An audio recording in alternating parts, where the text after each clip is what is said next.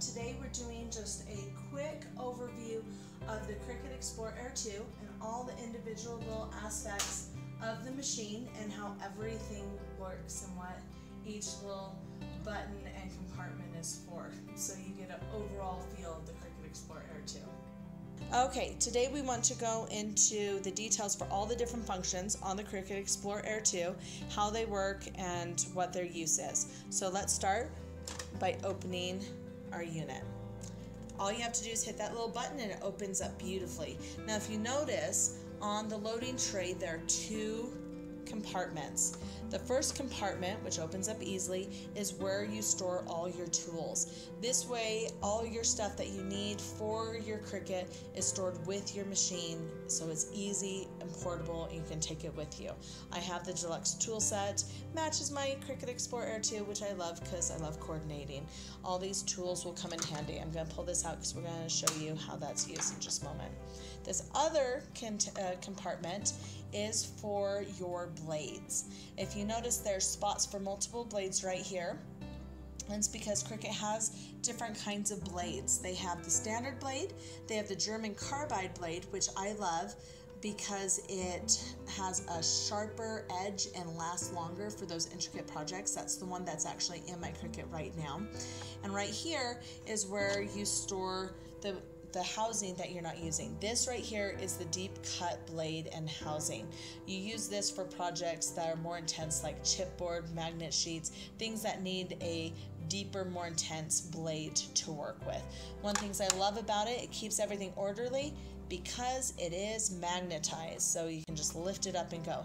And if you need to switch out and put switch your blades, it stores both the standard and the deep cut housing really, really simply right there.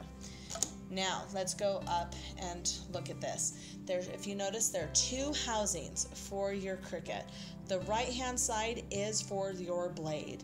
This is both the standard and the deep cut blade housing goes right here.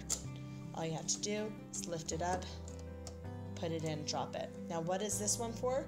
This one you use for either your score tool. This is a tool that your Cricut will use if you want to add score lines for fold lines. Say you're doing like a popcorn box and you want that nice crisp edge, easy to assemble. In the design, you make sure there's a score line and then all you have to do is snap that in and then where it needs to be scored, the Cricut will know to score your project. Now, this is also the same housing for pens and markers. Cricut has an amazing line of pens and markers. It's also compatible with other pens and markers out there on the market. And you saw how easy that was to snap that in and ready to go. If your project has multiple colors, don't worry. It will let you know each time you need to switch out your color on your monitor of your tablet or computer screen. And then, like I said, you just snap it open, pull it out, snap the next one in. I like holding it up because that way you don't get a little dot on your project. And there you go. Now let's move over to the left hand side of your unit. You have a nice little uh, area right here that you can either put your tools in it when you're actively using it or your pens that you're going to use if you're using multiple pens in your project. Nice little storage spot. And if you notice this little thing right here, what's that for? The original Cricuts worked completely by cartridges. That means the only projects you could do were on cartridges you bought and stored multiple cartridges for your projects. If you have those project uh, those cartridges, do not throw them away. You can still use them with this new Cricut even though it works with their online cloud design space. The best part is the very first time you use your cartridge with your design space open, it will recognize that cartridge, unlock it on the online side, and then you don't need to use it again. That feature is only available once per cartridge, otherwise, you have to have it in the machine to use. Now let's look over here in the dial settings. This is nice. In the older machines and competitive machines, you actually have to manually change the setting on the blade itself. You have to like turn it or notch it to be able to get that right depth for your projects. This is really easy to mess up and mess up your project. Here, Cricut makes it very easy.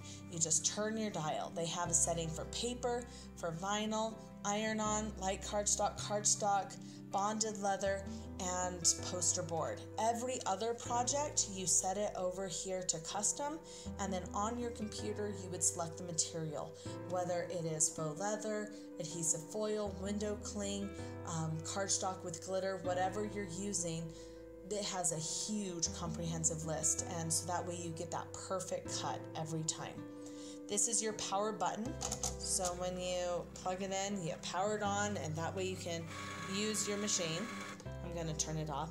This button right here is your loading button. When you're starting a project and you're ready to load it, load your mat into your thing, this will start blinking and you click on it and it loads the mat perfectly. This is the button to start your project. So it's already loaded. You've hit um, continue on your screen to send it over, the design over to your Cricut. This will start blinking. You click on it and it will start drawing, cutting, scoring, whatever it is that your project needs. If for any reason you need to pause your project because you screwed something up, which I mean, we all do maybe it's loading the wrong pen color or you forgot to load your scoring uh, your score don't worry you can pause it really quickly do what you need to and then unpause it now let's turn around the machine to show you the last of its functions this in the back is where you plug in your power cord. You always need power to run things, of course. Now, what is this little connection form. The Cricut Explorer Air 2 is Bluetooth compatible. That means it can connect with your tablet, phone, or computer wirelessly. That is fantastic. However, sometimes you might need to wire connect it in. So, all Cricut Explorer Air 2s do come with a cord that goes right in here to be able to connect your I can see what side it goes in. Connect your device to your computer. So if for some reason the Bluetooth or the Wi-Fi is not a strong connection and you need to hook it into a computer or you're using a computer that's not your own and accessing the file but you don't have the, the Bluetooth link on your device to that other computer, don't worry, you can just plug it in, it'll recognize it right away. So that is all the main functions for the Cricut Explore Air 2. It's such an amazing, compact, little lightweight machine that you can take with you everywhere. It can cut over a hundred different materials. You can do projects, any sort of projects that you can think of, you can probably do it on this machine. I adore it. I have done a ton in my life. But as you can see, it is very sleek, it's easy to use. If you have any questions, then uh, put them in the comments. For joining me today, hopefully this little tutorial was very helpful to you. For if you liked it, make sure you hit the little like button and subscribe so that you can stay up to date on more tips, inspiration, and more from my neck of the woods. Thanks!